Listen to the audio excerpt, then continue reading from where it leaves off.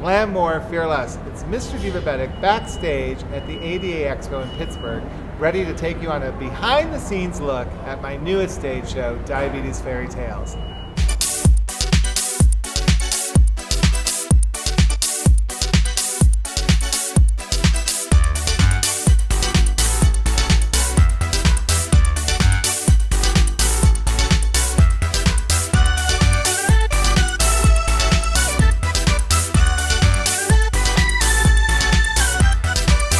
Welcome back to our sneak peek of Diabetes Fairy Tales. I'm here with Lorraine Starsky. Lorraine, you've been a part of every show for the last six years. We've done the Golden Girls, we did Gilligan's Island, and this year we're taking on Fairy Tales, and we're using some of the most popular characters to help educate and empower people living with diabetes to manage their care with confidence, knowledge, and inspiration.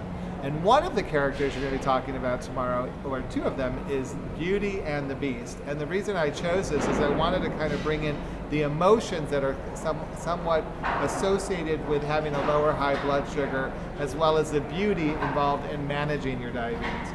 But you took my idea and you coined the phrase diabetes. So what is it? Tell everyone about that. Well, I think uh, diabetes can be anything that sort of um, derails you from, you know, living your life to your fullest potential. And sometimes it's um, emotions, sometimes it can even be well meaning friends or family. One of the characters we're going to take on together tomorrow is Pinocchio.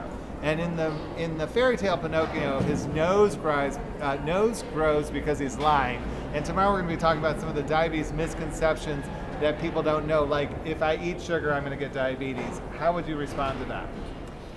Well, that's not really true. Eating too much sugar does not cause diabetes. Um, you know, people typically are genetically predisposed for developing diabetes. Certainly, if you eat an overabundance of carbohydrate foods, it's harder for your body to control blood sugars when you have diabetes, but it certainly doesn't cause diabetes. One of my favorite fairy tales, or one of the biggest messages that Divabetic is about living out loud with your diabetes. And so, really, for us, it's always been about educating people to feel that they can talk about it openly and share their diagnosis with others. So, we chose uh, Rapunzel.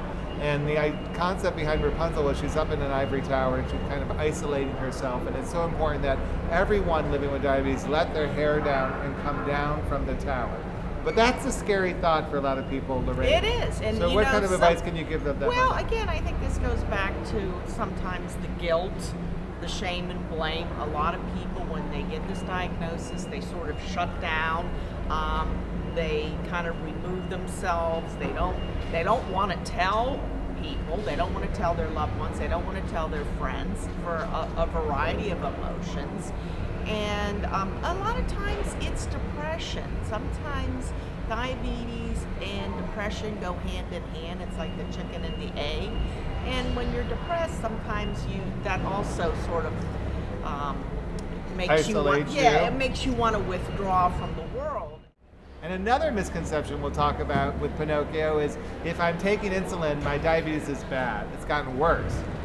Yes, many people feel that people who are on insulin uh, have the bad type of diabetes, and uh, the truth is, it's it, you know, irrelevant what treatment it takes to control blood sugars. But the bottom line is, who has the best control of their diabetes? They're the ones that are uh, going to be in better shape, have less complications, whether it takes one pill a day or four shots a day. It's not the therapy that determines the seriousness of the disease, but the level of control that they I chose Sleeping Beauty for the obvious reason of the correlation between sleep apnea and diabetes, but when I was working on this with Lorraine Brooks, I thought, oh my gosh, Max, it's about hypoglycemic unawareness. Most people don't know what that is, so if someone's sleeping next to them, it might not be, it might be not be a very restful sleep. What is hypoglycemic unawareness? Well, hypoglycemic unawareness is when someone with diabetes loses ability to be, be aware of when they're going low. And so they can become drowsy, sluggish, um, and not be aware. So it's very incumbent uh, uh, uh, with whoever is around them, their support group, to be able to respond to that. Remember, check out all my videos on Mr. Divabetic's YouTube channel and tune into our free monthly podcast with great educators like Jan Koshinsky at divabetic.org.